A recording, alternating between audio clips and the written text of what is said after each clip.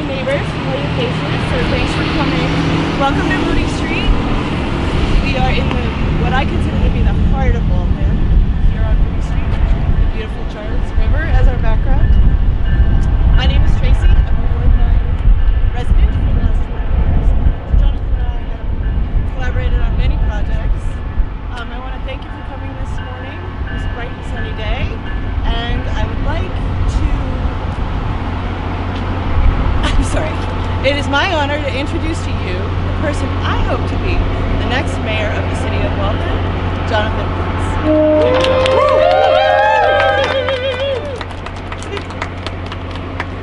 Thanks everyone. Thank you so much Tracy for that warm introduction. Um, I want to just um, start off by thanking everyone for being here on a very cold Thursday New England morning. Uh, it's never that easy. Um, and I also want to thank the Waltham voters who gave me the opportunity and the privilege to serve as a city councilor. I'm the son of Bolivian immigrants who uh, raised me here in Waltham. This city welcomed us with open arms. This city welcomed us with open arms. Uh, when I was when I was in middle school, my family was separated because of our broken immigration system. I chose to stay here. I'm a proud hawk and proud to call Waltham my home. I became the first in my family to go to college, earning a full scholarship and graduating from the University of Pennsylvania with a degree in economics. Um, when I was first elected as a city councilor, I led the fight for stable rents, affordable home ownership, and a modernized transit system. Mayor McCarthy blocked progress every step of the way. Just this week, we read that Waltham, the average rent in Waltham, is the third highest across the Commonwealth.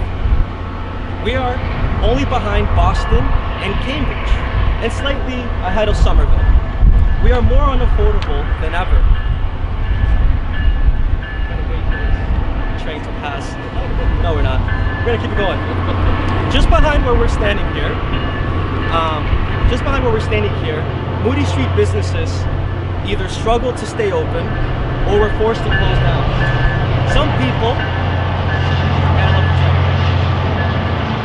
Um, some people lost their life savings. I worked with small business owners and community members, and together we created the Open, Open Moody Street Market, which the mayor now is trying to stop. Instead of being beholden to the people, this administration is beholden to special interests. Instead of feeding our seniors, veterans, and supporting our community farms and food pantries, this administration is threatening and harassing them. Instead of investing in our future, this administration is underfunding our schools.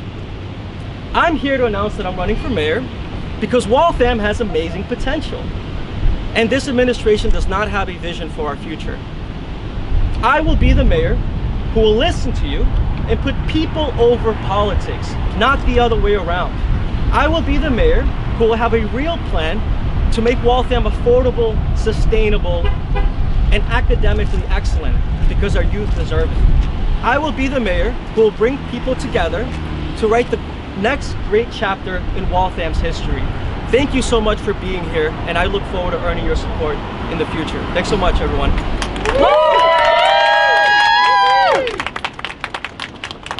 Nothing like the train midway through really sell the point, you know. Yeah, yeah. Um, I